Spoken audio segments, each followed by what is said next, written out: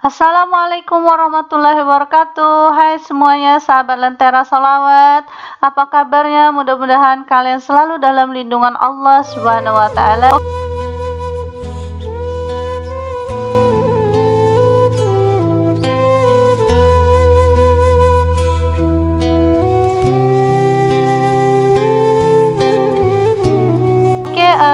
Teman-teman semuanya. Di konten kali ini saya akan membahas tentang uh, fadilah dan hikmah dari sholawat tafrijiyah atau sholawat naria dan uh, bagaimana cara mengamalkan sholawat naria atau tafrijiyah ini ya.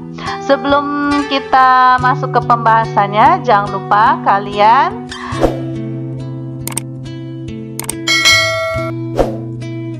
semuanya, salat tafrijiyah ini bisa disebut dengan salat kamila atau salat naria ya. Oke, manfaat dari salat tafrijiyah ini, seseorang yang membaca salawat ini akan menjadi sempurna keimanannya kepada Allah dan Rasulnya. Insya Allah. Salawat ini disebut salawat tafrijiyah karena bagi pembacanya akan dibukakan dan dihindarkan dari kesusahan, kesulitan, kebingungan. Ada pula yang menamakannya salawat naria karena bisa menerangkan kolbu.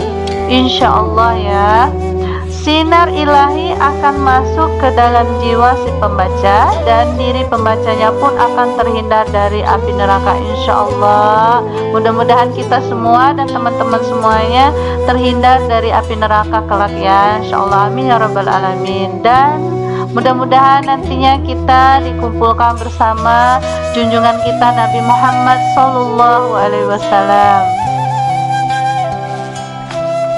Fadilah dan hikmah salawat ini sangat besar sekali bagi mereka yang mengamalkannya atau bagi kita yang yang mengamalkannya itu termasuk saya sendiri saya merasakan manfaat dari uh, salawat naria ini Cara mengamalkan yakni dengan cara yang telah ditentukan sebagai berikut. Yang ke satu, bila seseorang mempunyai hajat atau kita mempunyai hajat yang besar maupun kecil dan ingin benar-benar sukses dengan gemilang, bacalah salawat ini sebanyak 4444 kali, baik sendirian maupun secara berjamaah ya hajat yang diinginkan insya Allah permohonannya segera dikabulkan. Amin ya robbal alamin. Yang kedua bila ingin dimudahkan pekerjaan nah bagi teman-teman atau bagi eh, sahabat-sahabat uh, semuanya yang lagi sibuk mencari pekerjaan susah mendapat pekerjaan aduh bingung mau gimana lagi gitu ya jangan lupakan libatkanlah Allah dan junjungan kita Nabi Muhammad SAW ya. Oke, yang kedua tadi, bila ingin dimudahkan pekerjaan, dihindarkan dari bahaya dan hatinya diterangi, bacalah salawat ini sebanyak 40 kali.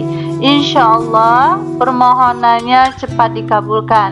Kalian membacanya itu yang kedua ini setelah salat fardu ya.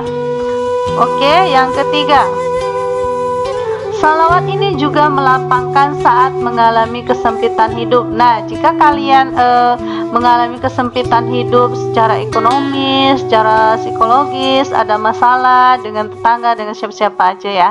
Salawat ini bisa kalian amalkan.